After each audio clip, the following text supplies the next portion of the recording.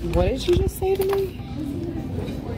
I don't care that you're recording me. You swipe right on me first. If you want some of this meat, you're gonna pay for this meat.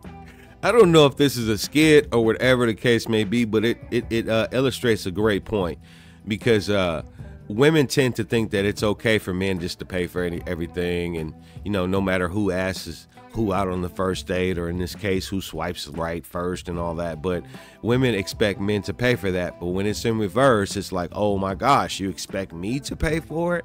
And he says, well, if you want some of this meat, you got to pay for this meat. But ain't that what women do? Because men have to spend money to prove themselves to be able to get next to the to the kitty cat. Now women will say, well, if you bought me dinner, that doesn't mean that I owe you anything. But that is what it means when it's leading up to it. Because women tend to think that men have to prove themselves just to get next to that kitty cat. But when it's in reverse, when it's in reverse, oh no, it cannot apply to women. I think, my personal opinion, is if you go on the first date with someone, pay your own bill. That way you don't have to worry about it. Pay your own bill and make that clear before you even get there and say, look, Who's paying?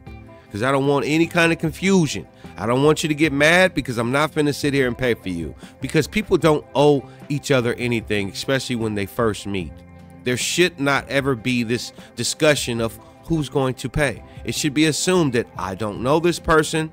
I should not expect this person to pay because you don't know them because if you you are expecting someone to pay and you don't know them that makes you a user you are a user and unfortunately there's a lot of women that will sit there and take take take and there's a lot of men that will go out there and have it in their mind that if I just buy her some drinks and I just buy her some dinner then maybe I can get close to her Maybe I can get a feel. Maybe I can get a kiss. Maybe I can bounce her back to my apartment. It doesn't work like that. Pay your own way and don't come into dates with these expe- expectations of oh if i paid then i can get something. Or if uh, as a woman if i'm going on a date then i got to make him prove himself by paying something for me. It doesn't work. These days don't end well. People are not respecting each other.